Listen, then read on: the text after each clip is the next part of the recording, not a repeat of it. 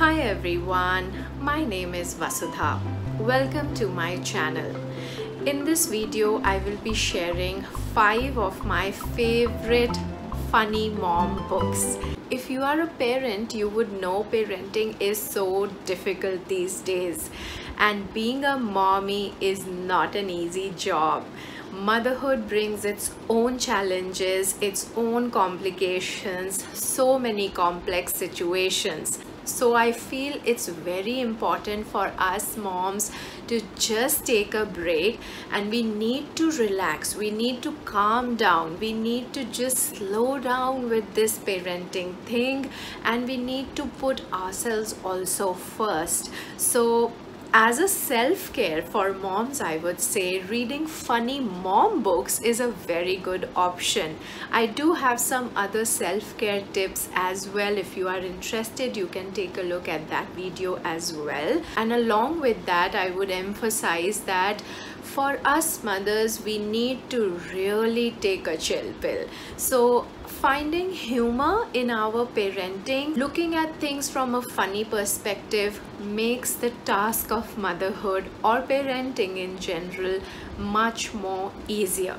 So let's dive in. So the first book that I read as a mother and the one which I highly recommend is by Shunali Khullar Shroff. It's called Battle Hymn of a Bewildered Mother.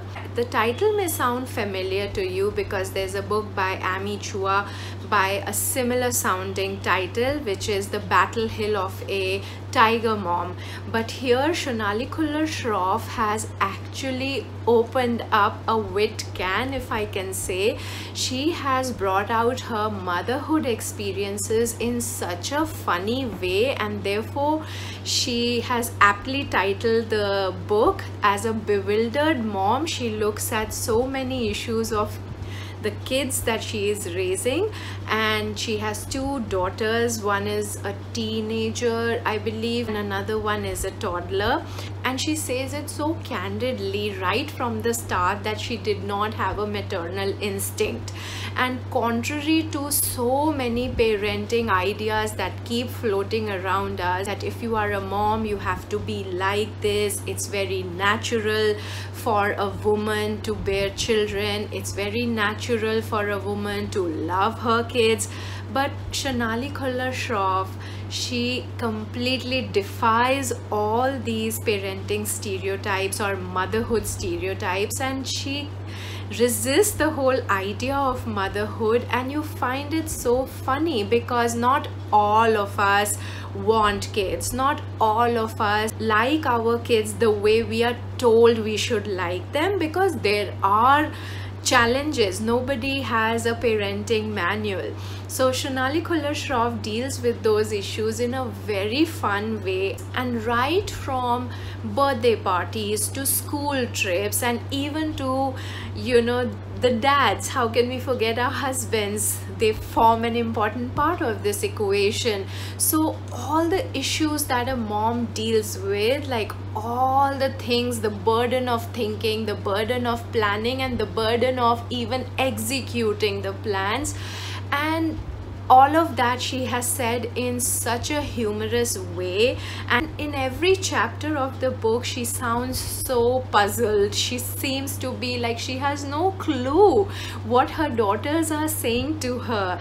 And she's just trying to rely on her own devices to make things work for them.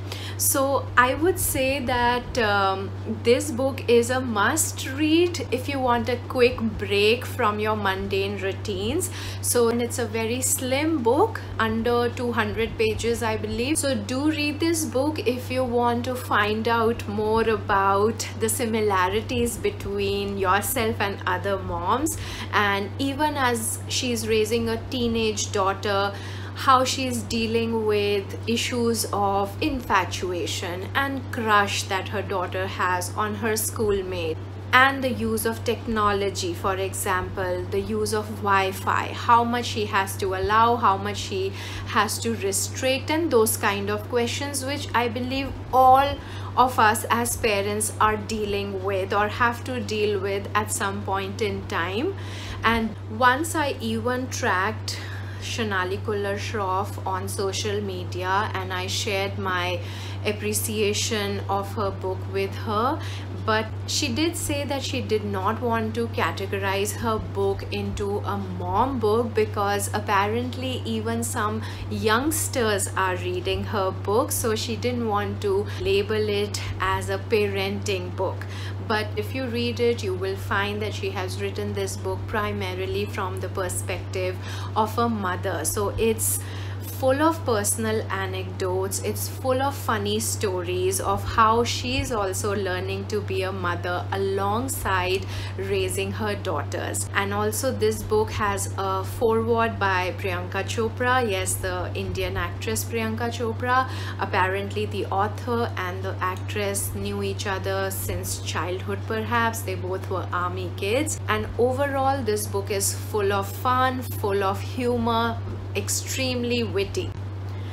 The next book is by Pamela Druckerman and it's called Bringing Up Bébé.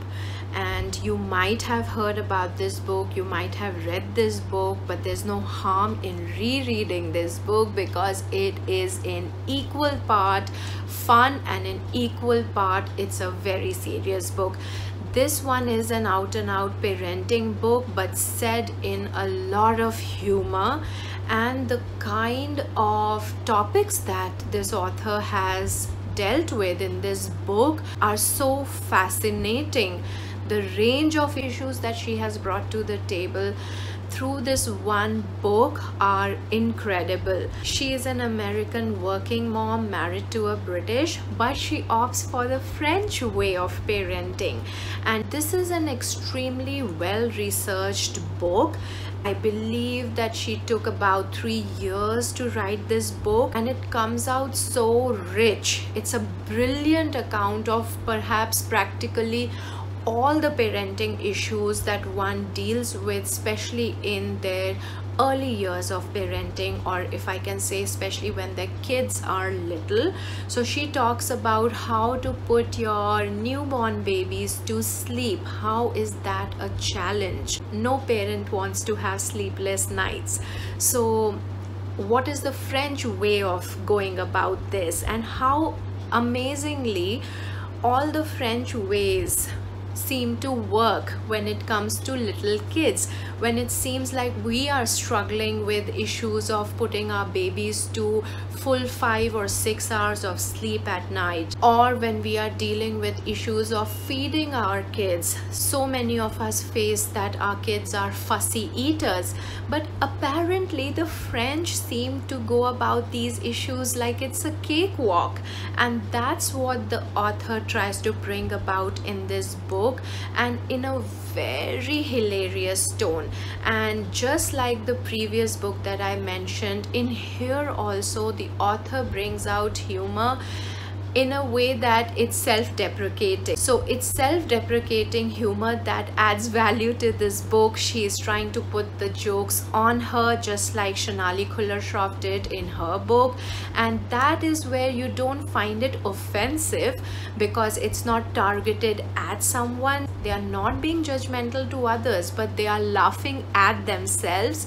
So both these books contain self-deprecating tone. And for example in a particular instance in this book the author is trying to conceive for a second time and her desperation of conceiving for the second time comes out hilariously. How she misses her ovulation cycle how she tries to catch a flight from america to belgium where her husband was and in the desperation of not to miss her ovulation period.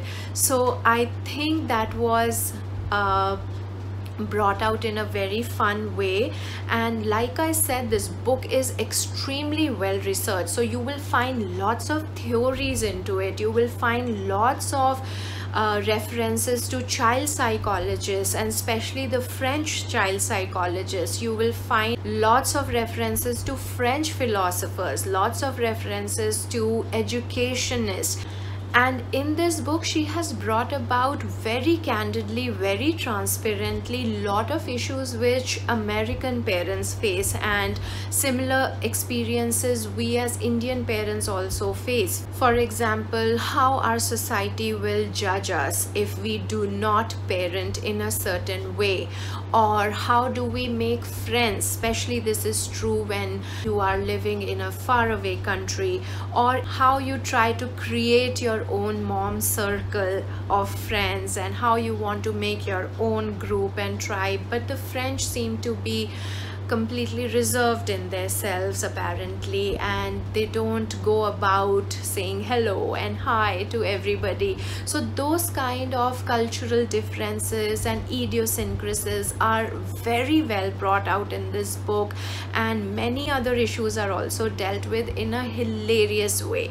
So like i said it's equal part humor and equal part wisdom and uh, you will enjoy reading this book as well. My third funny mom book is Bunmi Laditan's Confessions of a Domestic Failure. And the name itself is so so funny that you would really want to read this book to the end. And here if I can say the whole content of the book is so good. It's so relevant i would say to moms that every issue that we deal with on a daily basis is dealt with in this book. All real emotions all real feelings and it's such an honest book. It's so candidly written. It's fiction but she has presented it in a very real way. And if there was one alternate title to this book i would call it dirty laundry because that's one thing the character in this book is dealing with all the time piles and piles of dirty laundry how it keeps sitting in one room on the floor over here over the kitchen counter and so on. And how she's trying to deal with that. She loves her kid. The character in the book has a nine month old daughter and she has left her job to take care of her. She talks about her struggles as a forced stay at home mom like going through Pinterest, looking at all the crafty things and then hating it because she's not good at crafting.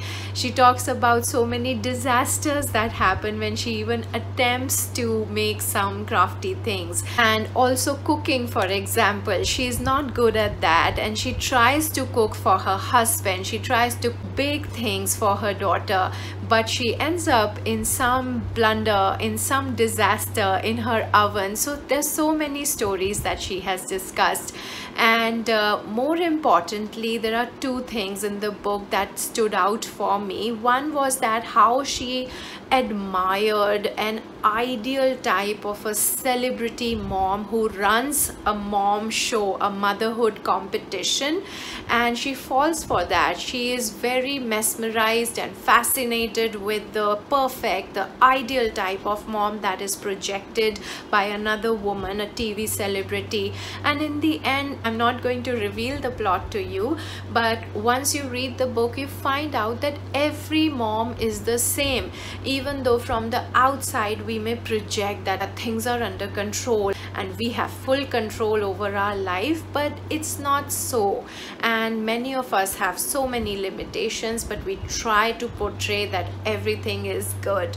So that's one thing i thought was so true. Like when we look at instagram for example or social media of any kind we see so many you know mothers trying to fall into one kind of a bracket and trying to project that oh look everything is fine. Our hair are nice. Our clothes are to the t and our lipsticks match our costumes and so on. So it may not be the case for most of us. So there's no regret in that. There's no guilt about it. And the second thing and the most important thing i felt was how she dealt with the whole issue of breastfeeding and those who are incapable of breastfeeding. What kind of a taboo and a guilt that they go through uh, for not breastfeeding their kids. She's talked about that in a very serious way how she feels that she is kind of outcasted by other mothers how some sometimes we indirectly or unknowingly become so judgmental about other women who are not able to breastfeed or who do not check so many other boxes of motherhood. So she's talked about that issue as a very important issue how we must just let moms be. Every mom is different and these are natural processes. They work for some people they don't work for some people. So i have written a review of this book in my blog. I'm going to share the link in the description box. You can read my review and please read this book i think it's going to make you laugh too my fourth funny mom book is by Meghann Foye. It's called Meternity. And here the character of this book writes for a parenting magazine or I guess a mom magazine. And the character is single. She's not married but she wants to take maternity leave. She thinks that it's the privilege only of actual mothers to go on maternity leave. But what about those who do deserve a break from their work work but they do not get that privilege so-called privilege of maternity leave. So there are many of us in our society who may not want to have kids at all but this is a hilarious take and how so the character almost gets jealous uh, from other mothers from her colleagues who are going on maternity leave and the burden of work in her office falls on her and she gets so frustrated. She wants to take a break but she can't. She has no uh, long leave so to say a four month or a six month break where she can justifiably claim to go on a break but she comes up with a plan to fake her pregnancy. And uh, how she hides it she tries to make up stories to her mom and to her friends and then she tries to kind of have a fake bump and so on and so forth. So what happens in the end i'm not going to reveal it but this book is about maternity leave. So she talks about how taking a break for her own self is so important to keep herself uh, stress free to keep herself sane and calm from her stressful work environment. What compels her to take this kind of a leave to fake all this is also very interesting how she has put it up. And the book is so hilarious. It's actually it's one of my favorite books to read. Whether we support such an idea or not is a different matter altogether. But the mom stories in this book are real and you will really enjoy reading them and my last funny mom book recommendation is actually a collection of mom blogs. It's called i just want to Pee alone. It's written by some of the famous mom bloggers. There are multiple authors who have written this book. And their collection is hilarious. It's actually hysterical. I mean if you are comfortable with the little f words and little a-hole kind of words then this book will make you laugh and roll on the floor. It's that kind of hilarious because the experiences shared by these mothers are so funny so funnily written. I mean again when we go through those stressful and so challenging situations the last thing on our mind is to laugh but these women again even if it's written in hindsight they make you laugh so much. And most importantly the whole underlying principle of this book is to be a funny mom. All these mom bloggers they emphasize on only one thing and that is to be to add humor to your parenting. Just stop stressing over things. Just stop panicking and just see things from a lighter perspective. Just laugh out loud with your kids when you are raising them, when you experience unanticipated situations, or even when you have like small accidents at home. Instead of getting hyper and panicky, and instead of going by the book all the time that this is what we need to follow, this is what we need to do just let yourselves loose just calm down. Take a deep breath and laugh out loud with your kids.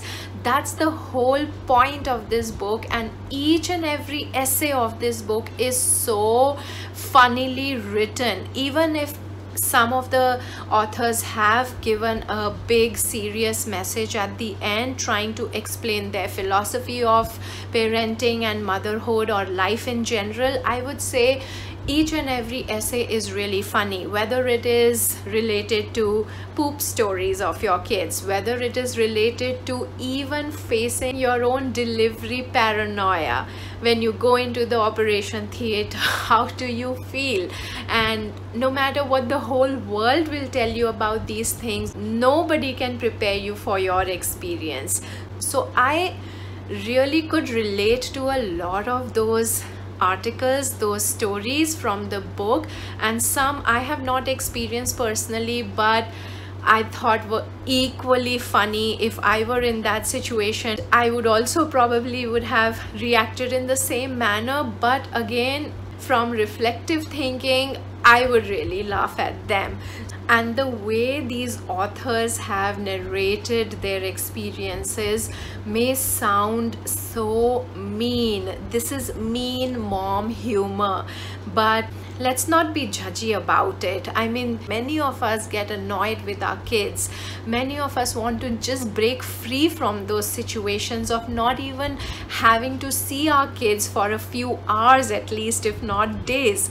So some of these are those kind of stories where moms are ranting about momhood and those are funny rants. Those are really hilarious rants which i'm sure many of us can relate to. So do read this book. It's by some celebrated mom bloggers. And you can also then maybe go on to their blogs and read more articles by them. But this was really a funny read a collection of short stories a collection of essays in one book. You cannot ask for anything better so this is like one of the best reads i would say on mommyhood. And let's try to be calm and let's try to be funny. Let's try to add humor. It doesn't matter. Life will still go on. We will still be moms. And we cannot take this momhood so seriously. So laugh out loud and just drop things which you cannot control. Let's not be control freaks but just let's try to lighten up our lives a little bit and most importantly i feel that this is what will go a long way. Our kids will actually remember when you know we all had a hearty laugh when somebody farted in the room rather than making a face or just trying to strictly tell your child that this is not the way or this is not how you behave. If we bust out in laughter after that that would be something your kids and you yourself will really remember for a long time. So we have a lot on our plate already mamas. So let's try to ease up a bit. Let's try to laugh more smile more with our kids. And we all are doing enough for our families. We all are doing a lot for our kids. So along with that love let's also add some humor if you like this video, please give it a thumbs up and subscribe to my channel. If you have some funny mom stories to share, please write them in the comment section below. Until next video, thank you and bye.